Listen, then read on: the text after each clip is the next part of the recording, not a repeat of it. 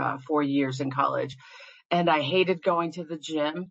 And the closest thing for me to kind of heal myself besides going to physical therapy every day, which wasn't an option, was to try yoga, um, Tai Chi and Pilates. And I ended up sticking with yoga and, and loved it. And not only did it take care of me physically with all the injuries I have, um, but deep down I was having this reckoning of, of healing myself. I, at the time I wouldn't have called it that. I just didn't know what was happening, but I knew that something needed to be addressed and change and maybe unearth some of my I don't want to say skeletons, but now there's a word, right? We can label it as trauma. And um, yoga tended to do all of that. And I just thought, what the hell is going on? I feel incredible. I feel grounded. I feel good. My stuff is coming up, but I feel safe. And um, physically, I just felt so fit and mentally so sharp. And then spiritually, um, I was starting to have an awakening of sorts and I could uh, tie it all back to yoga. And I thought, man, I could do this till I'm 80. And I thought, I'm going to teach this one day. And I thought maybe I would teach it when I retired from my career. and little did I know that a couple years later, I'd have an opportunity after 9-11 to go to a, a, a teacher training. And I've been doing it ever since. Wow. Yeah. Eh, yes. Now, when you were first starting to explore the field of yoga, what were the major demographics that you were seeing, in, including your teachers and hmm fellow My students? teacher was, was a white woman, but I started doing yoga in Pittsburgh. I live in Denver. I was in Pittsburgh because I went to school out there. Um, even though she was a white woman, I could definitely classify her as working class, blue collar, um, a woman who had struggled in her life. Um, and so I feel like I really connected to her for the first time. I felt like, oh, one on one, I, I knew I could be vulnerable with her and kind of let my guard down. And I started doing classes with her in a group setting for a couple of months. And then I moved and I still wanted her as a teacher. So I was super lucky to have her in my life for at least a year and a half where she came to my home and taught me private lessons at least three, four days a week for about almost two years. Wow. Yeah. Wow. And then it, my practice just took off from there. Yeah. Okay. hmm Yeah, so she really invested in you. Oh yeah.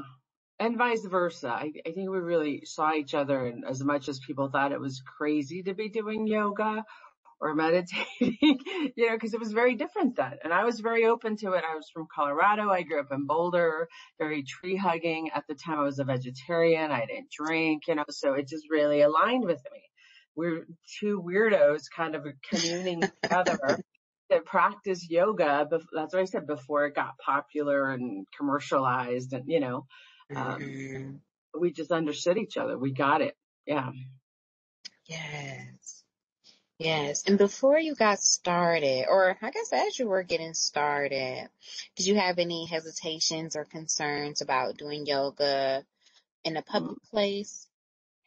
Um, no, Okay. no, it just felt right. For the first time, everything just aligned. I mean, I had grown up with my parents being spiritual people. And when I say spiritual, um, I mean via religion. I would literally as a child go to two or three different types of churches every Sunday because my parents were seeking for something Mm, spiritual. Yes. Uh, they were also very invested in the community. You know, um, my father started a minor league baseball league here in Denver. So, you know, athletics, spirituality, but nothing was connecting. And so, um, yoga really connected that for me. When I say athletics, I mean the hatha, the physical form of yoga, a way to stay healthy and present. And then it took care of the spiritual aspects, the spirituality aspects without me tying my spirituality to a religion or to a, a building, a place of worship you know, Yeah. so it all came together all at the same time. And for the first time as an adult, it felt right. It felt Mm, right. Yeah. I mean, I would walk into a Catholic church and be a little triggered, like seeing Jesus up there, you know, like scaring me. I'm like, what's going on here? This is the first if you feel safe, why do I feel so scared? And the smells of churches, I'm like, this is really weird. But no, yoga tied it all together and it made a lot of sense. It just resonated with me. I felt safe. I felt comforted as I worked through my stuff. And, um, yeah, that's the best word I can describe is that it just felt right, that I was at the right place at the right time, healing myself. And I felt super safe. Yes. Yes. Okay. Mhm. That's beautiful. Yeah. Yoga does, it does do that. hmm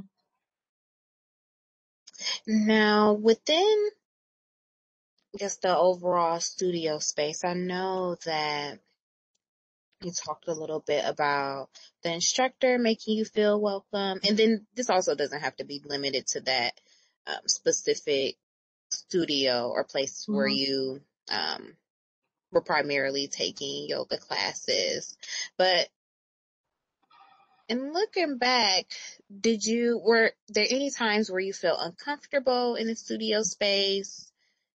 I And have, then, and I would say that's more recent, just because um, okay. when you what you heard me say to you and as I expressed myself, I keep saying, you know, I, I started doing yoga, practicing yoga, teaching it before it was cool, right? hmm Once it got cool, and when I mean cool, it's like everyone knew about it, whether it was commercial hmm marketing, and then it got cool, then Lululemon and all the clothes and all that, and then studios started to pop up everywhere.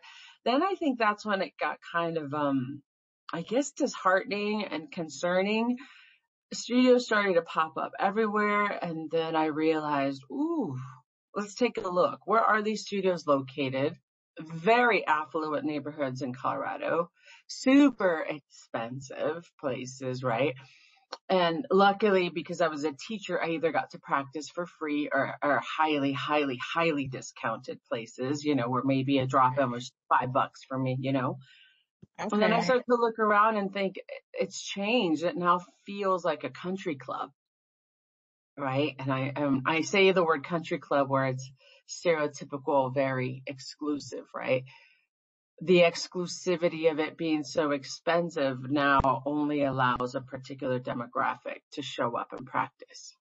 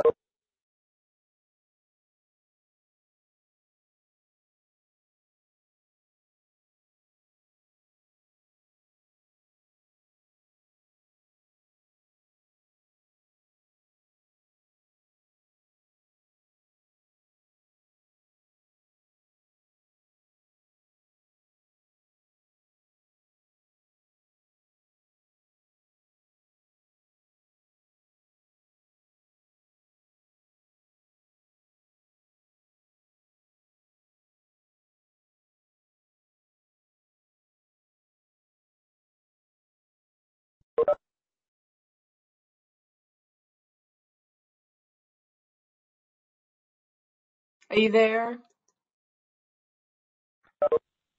Hello? You're breaking up.